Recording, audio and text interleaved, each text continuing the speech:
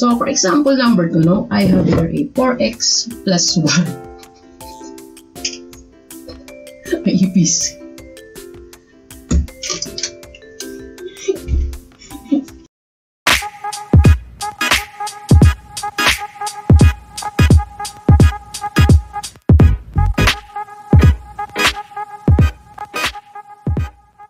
What's up? This is Awi Isip. Now, if you're new to my channel, please hit the subscribe button and the bell icon para naman updated ka sa mga susunod ko pang videos. No? So, let's start. Topic for today is all about the quadratic equation nga, no?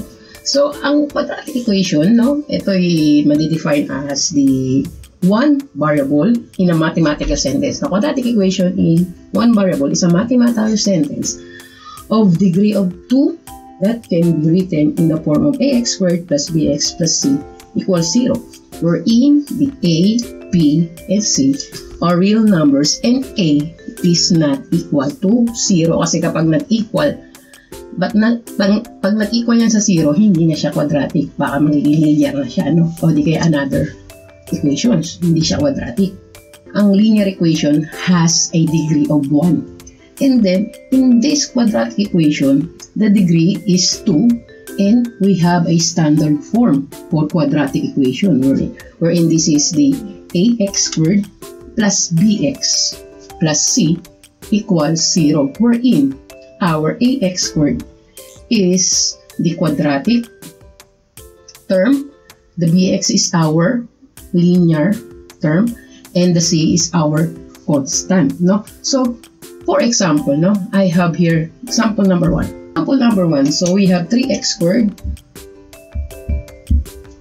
plus 5x minus 2 equals 0. So, this is standard form of quadratic equation. So, ang, ito yung ating uh, quadratic term, linear term, tsaka constant term. So, hanapin natin yung A, B, and C. Ang A natin dito, No? Ang A natin dito is 3. Ito siya. No?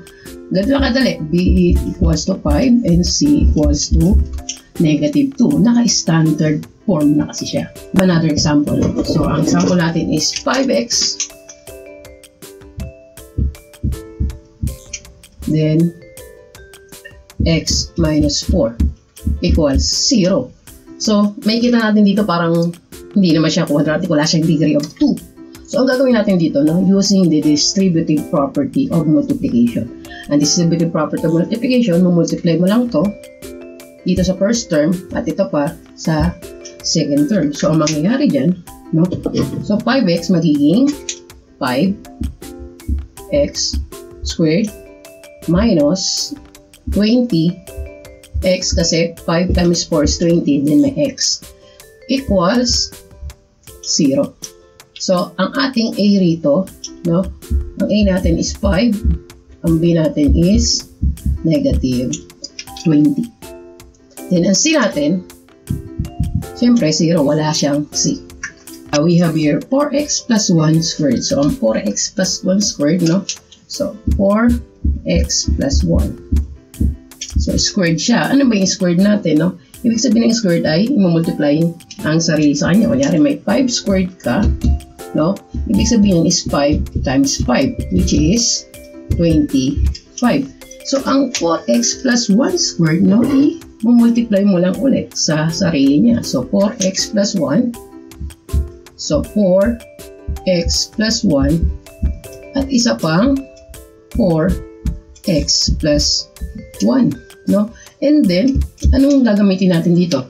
No, yung pinapag-aralan nyo yung grade 7, yung grade 8, no?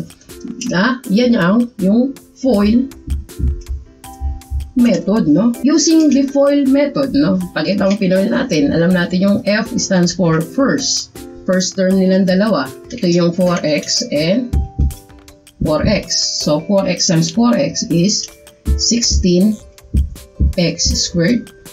Ang O, which is outer, no? Magkalayo yan. Outer, yung labas nila. Yan yung 4x tsaka 1. Kaya 4x tsaka 1 That is 4x pag multiply natin. Yung inner naman, yung loob, 1 and 4x. 1 times 4x, which is 4x pa rin. Then 1 times 1, the last term, last niya is 1. So, ano yung pwede nating like terms dyan? Yung pwede natin pagsamahin. Ang pwede natin pagsamahin ay ito, 4x and 4x. I-add natin yan. So, magiging ang ating final answer, ang standard form ng quadratic equation na to ay magiging 6, this is 8x, di ba? So, ang standard form natin is 16 x squared plus 8x because positive, no? Plus 1 equals 0. Wherein our A is 16, B is 8, and C equals to 1. So, let's was negative 12, no? So, gagamit ulit tayo ng foil dito, no? Kasi ito, foil to eh, no? So, ang F natin, pasensya na sa aso, no? First, x tsaka x, yan ay x squared. Ang outer natin, x tsaka negative 7. So, negative 7x. Multiply natin yan. Ang i, yan ay inner 3 tsaka x. So, 3x. And then, L, no? Ang L natin is the last term. So, 3 tsaka negative 7 which is negative 21. So, ang gagawin natin dito, no? Ito yung ating pwedeng pagsamahin. No? Like term sila. So, kapag sinama natin yan, pinagsama natin yan, negative 7x tsaka 3x, yan ay negative 4x. No? Ngayon, ilalagay natin dito yan. No? So, ibig sabihin, ito ay x squared minus 4x minus 21 equals negative 12. No? And then, Oh, may kita natin. No, ang standard form natin, no, laging zero nga sa dulo, no, equal siya sa zero. Eh dito, hindi siya equal sa zero eh. May negative 12 ka dito. So, ang gagawin mo, magpa-plus 12 ka rito, no, plus 12 ka rito para maging zero yan. No, and then magpa-plus 12 ka rin dito. So, ang mangyayari, no, x squared, no, minus 4x, ito, negative 21 plus 12 is negative 9, no? Then equals siya sa 0. So this is the standard form of quadratic equation wherein our A is 1, no? May 1 dito na hindi natin sinusulat. B is negative 4 and C is negative 9. So let's have example number 5. Okay, no? So let's have uh, example number 5. So, example number 5, we have a problem solving. Sabi rito, no? Uh, Jenny asked her father to construct a rectangular stage for her presentation in school. So, she wanted her stage, no, to have an area of 48 square feet.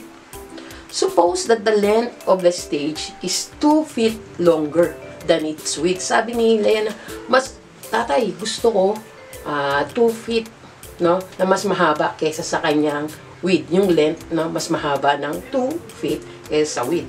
So, what equation would represent the area of the stage. No? So, paano natin i-represent yan as quadratic equation? Ayun ang ating problema. Ang hinahanap natin dito is the equation. So, ang solution dito, no? So, first, we will let x be the width, no? And then, dahil x yung width natin, sabi natin na ang length daw ay mas mahaba ng 2 ano, 2 square feet. Oh, 2 feet, sabi niya. So, ibig sabihin, ang ating length is x plus 2. And then, ang ating total area, sabi ni, ano, eh, ni Jenny, ang, ang area natin is 48 square feet lang. No? So, ngayon, paano yung quadratic equation yan? Alam naman natin na ang rectangle, ang kanyang formula, when getting the area of rectangle is length times width. So, length times width equals the area. So, ang length natin is x plus 2. No? And then, yung ating width is the x. So, imo-multiply natin yan o gagamitan natin yan ng distributive property. So, ang mangyayari dyan, no? So, x plus 2 times x equals the area, which is the 48. No? And then, ang mangyayari dyan, distributive property, i-distribute natin. So, magiging x squared plus 2x equals 48. So, dahil may equals 48 siya, kailangan natin, no, sa standard form natin ng quadratic equation, 0 ang dulo. So, dahil may 48 siya, ima-minus natin yung 48 sa kabila at magma-minus din tayo sa kabila. So, pag nag-minus tayo sa kabila, no, ang mangyayari dyan, no, magiging 0 na siya. No, magiging 0 na yung ating right side. So, ang mangyayari, x squared plus 2x minus 48 equals 0. Yan yung ating quadratic equation na hinahanap in standard form. So, ngayon, no? So, kayo naman, sana uh, sagutan nyo to sa inyong activity, no? So, go to page 7 and 8 and answer activity 1.1, I am quadratic. So, sana may natutunan kayo, no? So, that's all, no? Uh, don't forget to like, uh, share natin sa iba, no? And then, paki-hit naman yung ating bell, ay, uh, bell button, no? Para mag, magka-updated ka sa aking mga videos. Kasi may susunod pa to, may part 2 pa to, no? Part 3 din, another topic, no? So, that's all, no? So, good luck, soldier!